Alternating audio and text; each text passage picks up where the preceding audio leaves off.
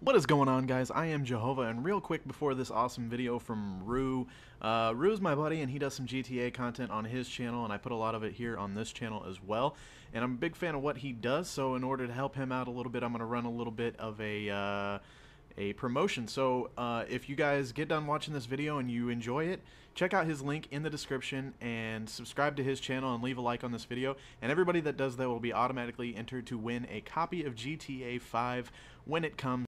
What is going Hey fellas, how you do? I'm iRue399 and welcome to my GTA 5 chat show. Today we're going to be discussing random events in GTA 5, something that I'd like to think is going to be quite hot in GTA 5, simply because eh, random events such as people coming up and doing, you know, making you do side missions, coming up and ambushing you, trying to lure you in, trying to make you maybe run an errand or something like that. You know, it adds depth to not only the map, but the gameplay itself for Red Dead Redemption's example, okay, I've got this here. You can go out and someone says like help. I've, you know, maybe there's a, a, wagon on the left of the, you know, on the side of the road that's uh, it's got a wheel off, and he's like, maybe you can give me a hand or whatever. And then all of a sudden you start giving this guy a hand. He draws a gun. Everything kicks off. I like the idea of this being in GTA 5, and from what I understand, it's actually confirmed. Okay, I remember Rockstar saying that there will be fellas trying to thumb a lift out in the middle of the desert.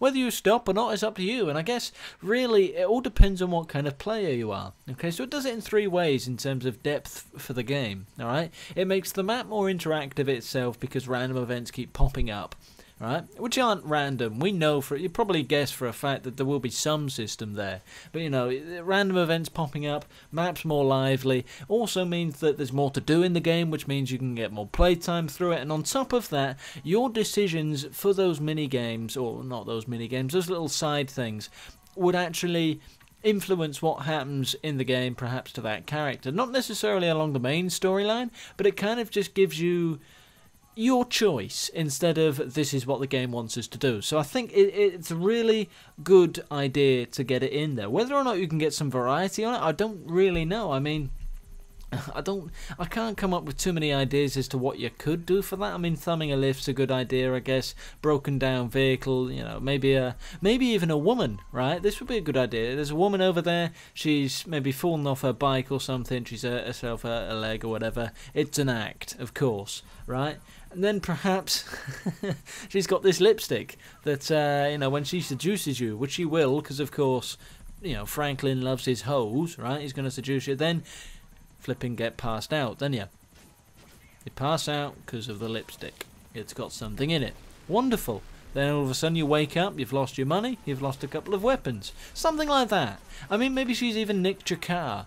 Eh, it, a lot of interesting things could be done, alright, to make it so that the game's more bouncy, I'd like to say, unpredictable. Alright, maybe if you're walking through the streets of Los Santos a night time, different people come out and all of a sudden, you know, those different people spark off different things. All right, red light racing. I don't know if that's the right term for it, but let's just say there's a you know a meet somewhere which is completely random. It just kind of shows up at random parts of the day at random things, similar to like the, the Sultan GT in GTA 4 and the the Futo GT in GTA 4. Just show up, you pull up, what's going on? Let's have a race, and then you race, and then at the end it all kicks off. There's a lot of ideas that could be done. Of course, I can't come up with too many because I'm only one brain. All right, so first of all, I've got one of two questions for you. Do you like the idea of this? Do you like random event ideas? If you do, what types of events are you after? Alright? Also, right, come on over to my channel because I do a lot of GTA 5 stuff. I know I've been saying this now for a little while, but I do, I do, I try to get a video out nearly every day. Sometimes I don't, sometimes I do. It depends what's going on.